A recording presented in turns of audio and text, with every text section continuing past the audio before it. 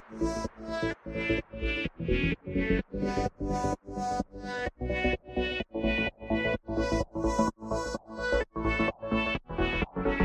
Verovatno ste primijetile da je jako teško naneti šljokice, to jest lak koji sadrži gliter ravnomerno po noktu.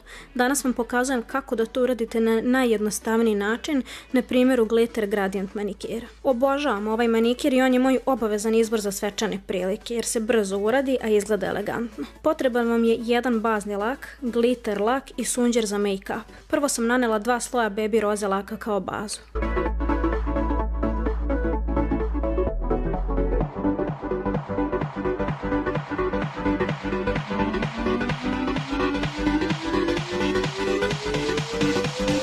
Lepši utisak kada se bazna boja uklapa sa bojama glitera, mada je konačan izbor boja na vama. Odabrala sam ovaj lak koji u sebi sadrži sitan plavi gliter, kao i krupne plave i tamno roze glitere, da bi se sve lepo uklopilo sa baby roze bazom. Ovaj gliter lak je dosta redak, pa sam morala da ga promućkam pre narednog koraka. Uzimam make-up sunđer i nanosim šljokice na sam vrh sunđera i čekam nekih desetak sekundi da sunđer upije višak laka, tako da samo šljokice ostanu na površini. Čim sunđer upije višak laka, nanosim šljokice na nokat tako da ih najviše ima na ivicama nokta. Kako idem ka gore, nanosim sve manje i manje šljokica.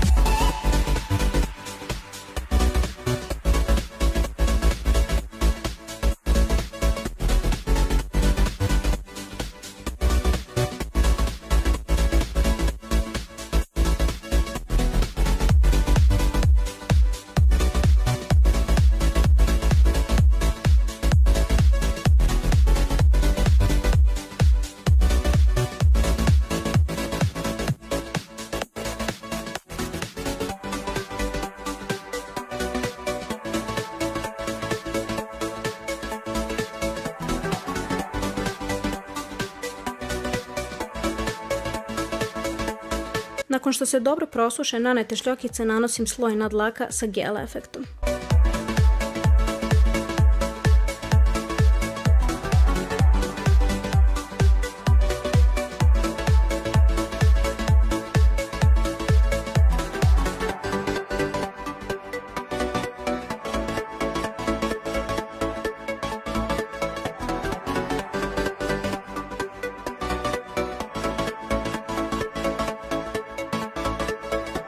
Ovakav manikir i svaki drugi u kojem imate dosta šljokica najlakše se skida takozvanom soak off metodom koju sam već pokazala u videu kako skinuti gel lak sa noktiju. Potreban vam je čist aceton i kuhinska alufolija. U ovom videu iskoristit ću zanimljive Sephora maramice koje su već natopljene acetonom i spremne za upotrebu, a više o njima ću uskoro pisati na blogu. Maramice sam isekla na četiri dela, tako da se jedna kesica praktično može iskoristiti za četiri nokta.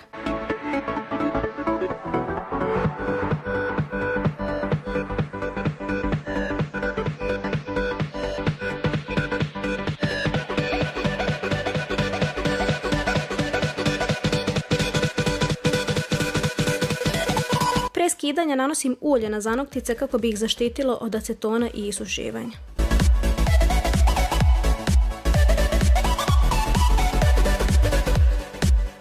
Nakon što prislonim parče maramice na nokat, ostatak prsta umotavam u parče alufolije i ostavljam da odstoji. Treba da odstoji umotano najmanje 15 minuta.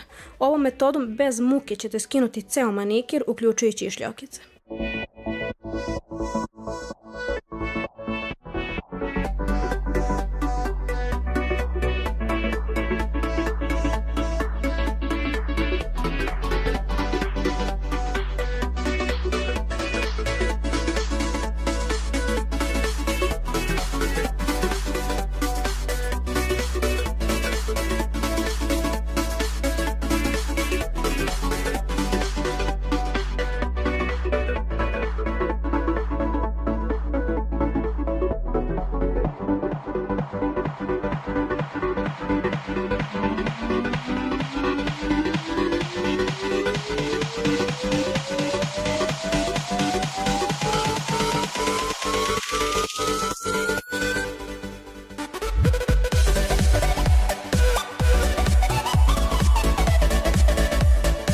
Maramice su odlične za ovu metodu, ali aceton kojima su maramice natopljene agresivan, što znači da nakon soak metode morate obavezno iznegovati nokte, bilo uljima ili nekim drugim sredstvima za nego. To bi bilo sve, hvala vam puno na gledanju i vidimo se u sljedećem videu. Ćao!